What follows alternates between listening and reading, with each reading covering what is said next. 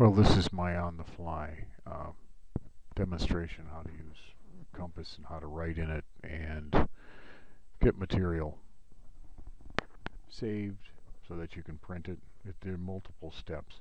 First of all, in, in Compass, it's a communication app. It's really not meant for writing, but you can still write in it. So we can uh, do some writing.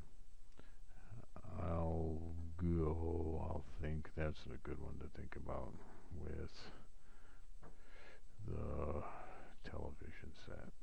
Who knows? The toy. There we go. I'll think with the toy.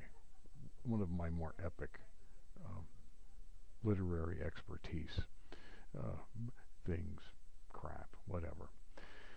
But now you want to save this and print it. There's no button that's pre-made and so what I would recommend that you do is you go to edit and controls and in editing controls we've got some blank spaces here that can be utilized.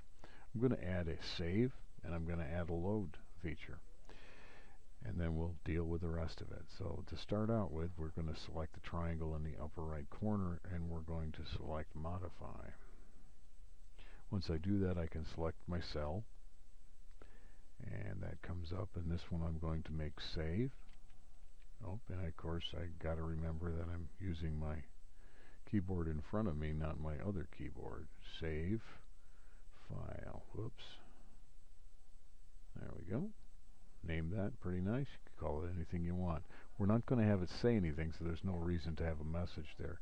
But we'll want to do something in the actions area. And this is where we can control quite a bit of what goes on with the Compass app, but I'm interested in looking at the message window and I'm going to scroll down and I'm going to find that somewhere way down here is a save as, save text as. Goes right there and I added it.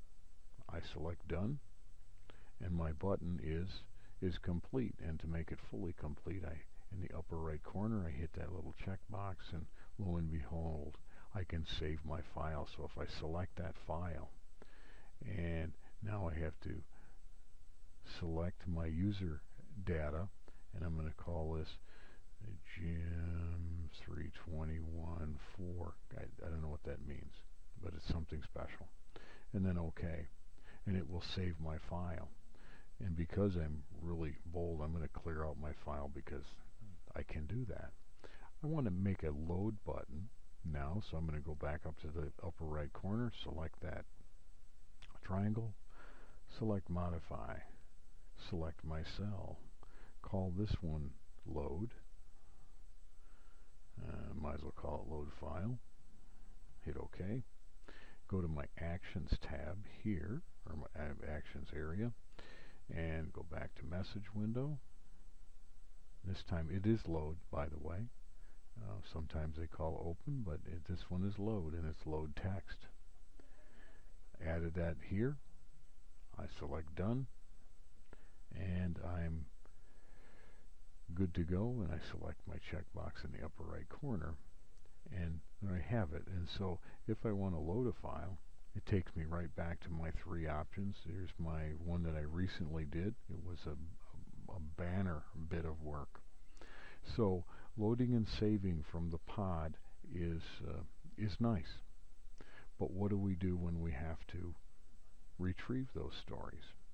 I'm going to stop and uh, get re reordered, but for for now we custom made a save and a load button so that anything that anybody writes up here, um, we can save it and we can load it and edit it at a later date.